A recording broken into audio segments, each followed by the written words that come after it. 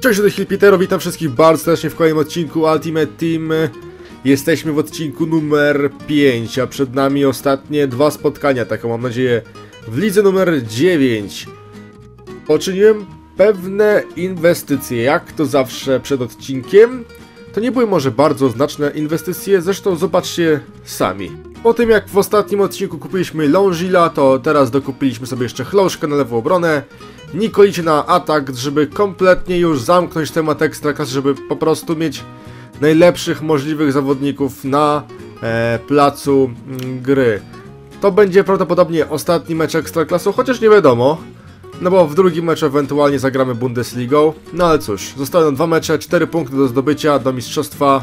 Jedziemy z tematem. No i niespodzianki nie ma, na, na pierwszy rzut oka widać, że to jest zawodnik z Polski, bo nazwa jego drużyny to niebiescy, zapewne fan ruchu Chorzów. Dysponuje on naprawdę ciekawym składem z wypożyczonym Hernandezem, czyli to informem. No i cóż, będzie trzeba go zatrzymać. Chlouszek w pierwszej akcji ofensywnej, Adam Chlouszek. Faul moim zdaniem. Sędzia to wiedział jednak inaczej, trzeba się teraz y, westrzec tej kontry. Rzeźniczak nie dał rady temu zawodnikowi na skrzydle centra w pole karne. Fenomenalna parada Bartłomieja Drągowskiego.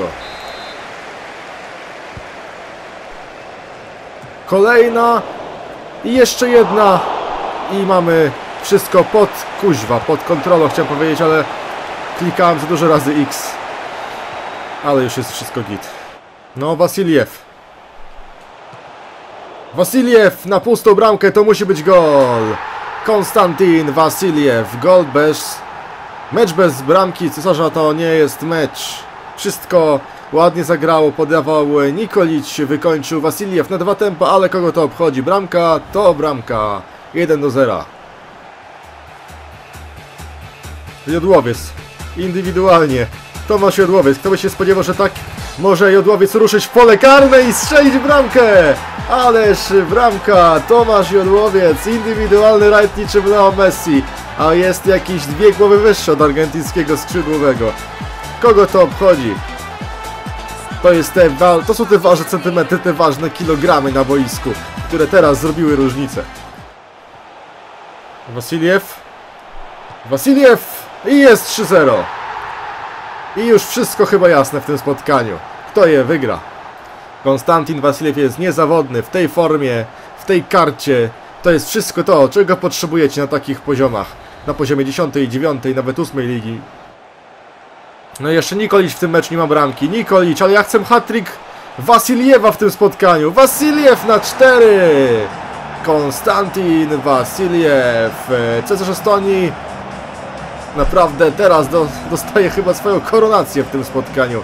Kolejny gol tego zawodnika na pustą bramkę, ale wiecie co? To jest po prostu gol. Oj, strzał w słupek, dobitka gol. No znowu te 4-1. Te je, ta jedna bramka z czwórką z przodu. Coś mnie to nawo- na, po prostu nawi- nawodzi, kurde.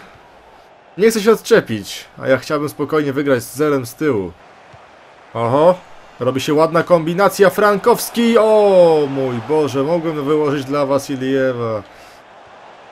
Longil. Longil, Jodłowiec 5-1 i to jest już knockout. Żeby Tomek Jodłowiec strzelał dwie bramki w jednym meczu, o Boże, no to tego chyba jeszcze nigdy nie grali. A jak grali to, jakieś tysiąc lat temu i najstarsi górale o tym nie pamiętają. Zobaczmy, Erik Jędriszek, Erik Jędriszek na 6-1. I Słowak też notuje swoje trafienie, no kto by pomyślał, że szóste trafienie to będzie dopiero pierwsze jakiegokolwiek napastnika w mojej drużynie, no bo do tej pory dwie bramki e, strzelił Jodłowiec, trzy bramki Wasiliew, dopiero pierwsza napastnika, czyli Erika Jędriszka. Ha, korekta, nawet to Jędriszkowi nie zostało zap- zapisane, tylko bramkarzowi jako samobój, co jest kompletnie niezrozumiałe. Ale okej. Wiecie co wam powiem? W tym meczu dam zadebiutować, dam owację na stojąco Ehm, e, Wasiliewowej damy zadebiutować Wystkowskiemu, który rok temu odgrywał w miarę ważną rolę w naszej drużynie. No dzisiaj obecnie nie mógł grać, teraz zagra po raz pierwszy. Jest i on. Przemek Mystkowski rusza sprintem w kierunku bramki. Niesamowity rajd Mystkowskiego. Mystkowski w debiucie nie trafia, ale trafia za to Nikolić. No niestety Przemek musi pogodzić się z tym, że tym razem to Węgier, chociaż to jest dopiero pierwsza bramka napastnika, bo mówię, Jędryszkowi zaliczono samobója bramkarza. No i teraz Nikoliciowi już żadnego samobója nie zaliczą.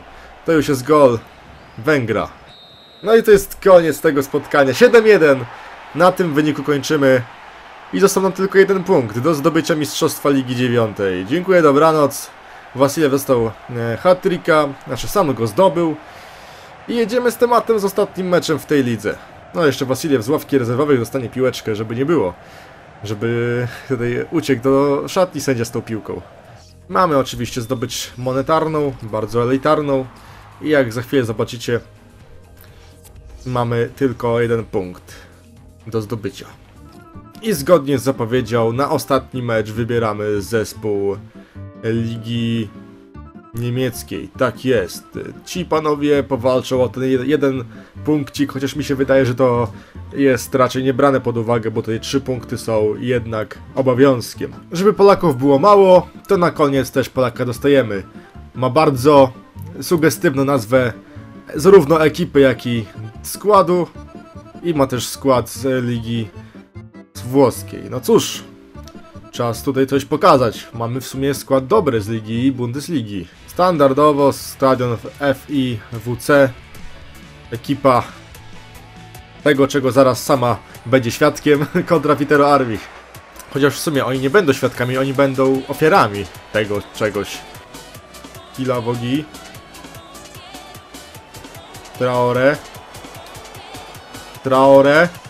Pole karne Gilawo niczym napastnik, ale trafia! No co za historia! Były zawodnik Atletico Madryt znalazł się tutaj jak snajper, prawdziwy snajper. W 11, w 16, tu był chyba bliżej 11 metra, no prawie rzut karny. Przebił ręce Neto. 1 do 0 dla Pitero Armii. Didavi. Didavi. Bernat. Juan Bernat. Juan Bernat i 2-0. Skąd się wziął Juan Bernat w polu karnym mojego przeciwnika? I have no idea, my friend, ale bramka zaliczona.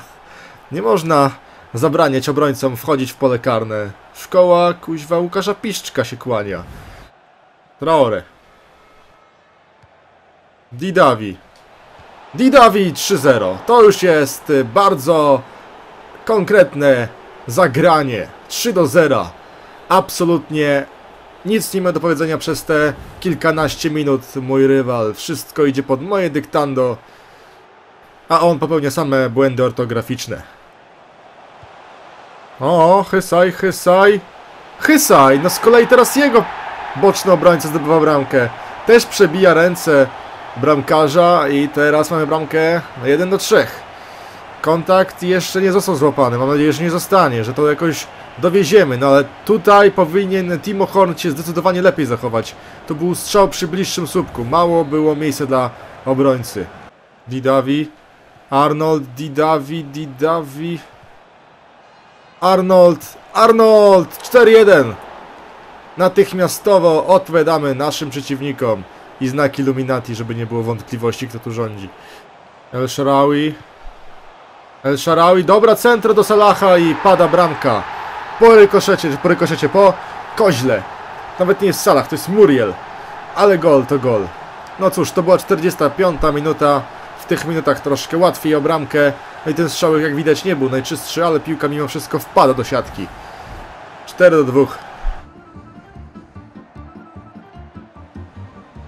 To jest szansa dla Wernera, ale ją przestrzelił, właśnie strzelił prosto w bramkarza. To powinno być lepsze, lepsze wykończenie Niemca. Poprawka?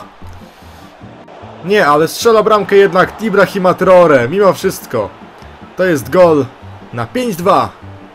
Nadal czekam na bramkę Timo Wernera. To nie jest odcinek pod znakiem e, napastników. Tutaj napastnicy grają naprawdę marginalną rolę. Ile to już bramek? E, już chyba bramek padło z 10-11, z czego tylko jedna była autorstwa napastnika, więc kurde jest jednak odpowiedzialność multiosobowa, nie tylko napastników. No i po pierwszej połowie, gdzie trafiliśmy do bramki 4 razy, w drugiej tylko raz, ale ostatecznie się zakończyło na wyniku 5-2, co już potwierdza w 100% nasz awans z mistrzostwem do ligi numer 8. I to było na tyle, jeżeli chodzi o ligę numer 9. W dwóch odcinkach załatwiliśmy całą sprawę. No i bardzo ładnie. Gila Wogi nie pierwszy raz zostaje zawodnikiem meczu, bo to jest super zawodnik. 4,5 tysiąca monet ląduje na nasze konto i tym samym kończymy nasze wojaże w lidze numer 9, bilans 5-0-0, tak jak bym sobie to życzył od początku w lidze numer 10, ale było minęło, liga numer 8 przed nami. I to było na tyle w tym odcinku. Piszcie w komentarzach, kogo powinienem kupić być może do składu z ligi francuskiej, a jeżeli macie jakieś propozycje do składu Ligi Niemieckiej też piszcie. Oku- Oczywiście nie będę kupował jakoś wybitnie drogich piłkarzy, na takich jeszcze poczekam, no bo e, ten rynek z dnia na dzień będzie się trochę, trochę bardziej ogarniał, więc jak gdzieś za, za tydzień, za dwa tygodnie będzie można kupić naprawdę solidnego piłkarza za te 15 tysięcy końców. Teraz jeszcze trzeba za niego sporo przepłacić, a ja tego nie zamierzam robić. No i to, teraz by było te... No i to by było na tyle. Lajkujcie, subskrybujcie, napis out.